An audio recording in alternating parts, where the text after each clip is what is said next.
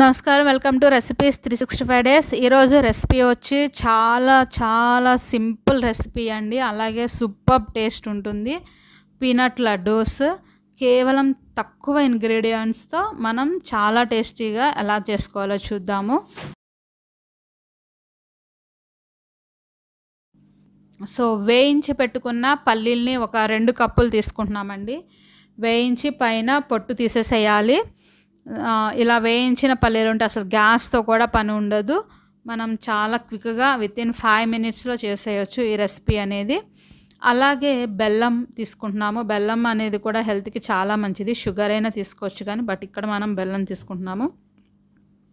బెల్లం బాగా sweet like చేసే వాళ్ళైతే రెండు కప్స్ తీసేసుకోండి. నార్మల్గా స్వీట్ లైక్ చేసే వాళ్ళైతే ఒక కప్పున్నర. చూడండి కప్పు బెల్లం తీసుకున్నాము. అలాగే ఇంకొక అర కప్పు తీసుకున్నాము.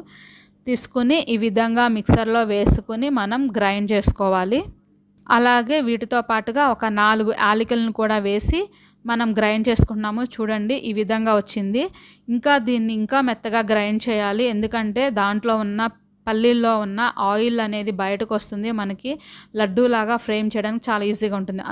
కచ్చా పచ్చాగా ఉండకూడదు. ఈ విధంగా లడ్డు చుడితే రావాలి నీట్గా.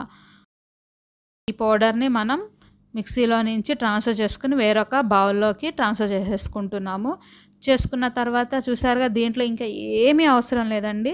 ఆ పిండిని తీసుకోవడము చక్కగా లడ్డూస్ లాగా రౌండ్ చుట్టుకోవడం అలా చుట్టే కొద్దీ ఆ పల్లీలో ఉన్న ఆయిల్ బయటకు వచ్చి చక్క లడ్డూస్ చాలా కలర్ఫుల్గా టేస్టీగా చూడండి ఎలా అవుతున్నాయో.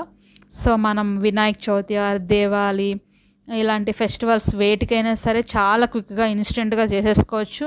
లేదంటే ఎప్పుడైనా స్వీట్ మీకు తినాలి అనిపించింది అనుకోండి ఏమీ లేనప్పుడు ఇంట్లో ఇలా క్విక్గా ఇలా చేసేసేసి తీసుకోవచ్చు అనమాట సో ఈ విధంగా మిగిలిన దాన్ని మిగిలిన లడ్డూస్ అన్నీ కూడా ఇదే విధంగా ఫ్రేమ్ చేసేసుకుని చక్కగా ప్లేట్లో సర్వ్ చేసేసుకోండి. పల్లీలో అయితే మనకి జింక్ అనేది మనకి చిన్నపిల్లలకి జింకోవిట్ సిరప్ ఇస్తారు కదా సో ఆ జింక్ అనేది పల్లీల్లో పుష్కలంగా ఉంటుందండి. అలాగే బెల్లంలో ఐరన్ అనేది ఉంటుంది. సో ఈ రెండింటి combination really good combination. So fat ఉంటుంది ఆయిల్ వలన. సో ఈ విధంగా మీరు కూడా పల్లీస్ లడ్డు చాలా ఈజీగా ఇంట్లో తయారు చేసేసుకుని ఈ విధంగా బాదం ఆర్ పిస్తా దాంతో చక్కగా గార్నిష్ చేసుకోండి.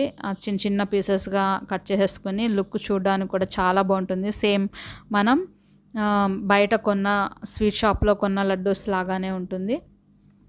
ఈ వీడియో మీకు నచ్చినట్లయితే లైక్ చేయండి షేర్ చేయండి అలాగే మరిన్ని అప్డేట్స్ కోసం తప్పకుండా సబ్స్క్రైబ్ చేసుకోండి. Thank you for watching this video bye bye